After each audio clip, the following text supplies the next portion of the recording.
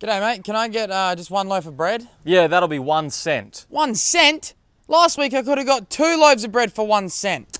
Inflation, I'm afraid. One loaf of bread now costs one cent. That's despicable. I'll chuck in a hay bale for your horse. That sounds fair. Hey, I bought a house the other day. You bought a house, that's fantastic. Yeah, me and Shelley are stoked. Went for one five at the auction. $15? Yep.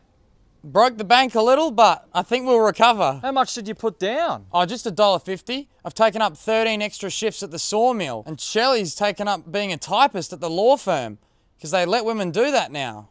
Your wife can type? Hey, man, it's 1902. Grow up. I'm sorry. What's that attitude all about? I grew up with sexist role models.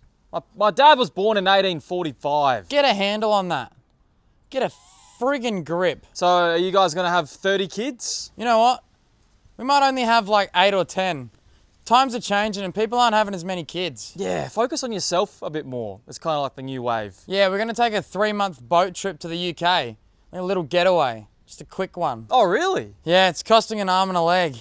50 cents. Wow. I know. That'll take months to earn. I'm only on a dollar fifty a year. Wait, don't we have pounds at this point?